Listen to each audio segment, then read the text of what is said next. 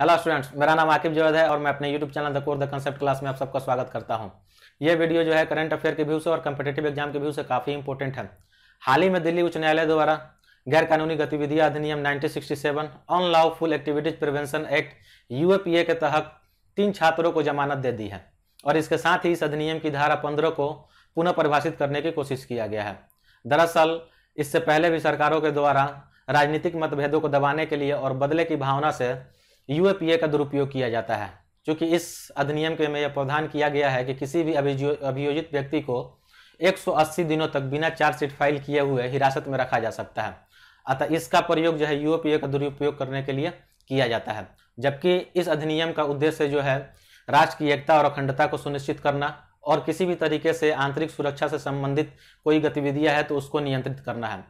इस अधिनियम का उद्देश्य यह भी है कि इसका उद्देश्य किसी भी सामान्य प्रकार के अपराध को कवर करना नहीं है, चाहे अपराध कितना ही जघन्य और गंभीर क्यों ना हो। दिल्ली उच्च न्यायालय द्वारा दिया गया निर्णय इसलिए भी महत्वपूर्ण है कि पहली बार किसी न्यायालय ने यूएपीए के दुरुपयोग की बात कही है, जबकि भारतीय संविधान के अनुच्छेद आर्टिकल 90 के तहत भारतीय व्यक्तियों को या भारतीय नागरिकों को यह अधिकार प्राप्त है कि सरकार के निर्णयों के विरुद्ध आलोचना कर सकते हैं, हड़ताल कर सकते हैं या आंदोलन कर सकते हैं।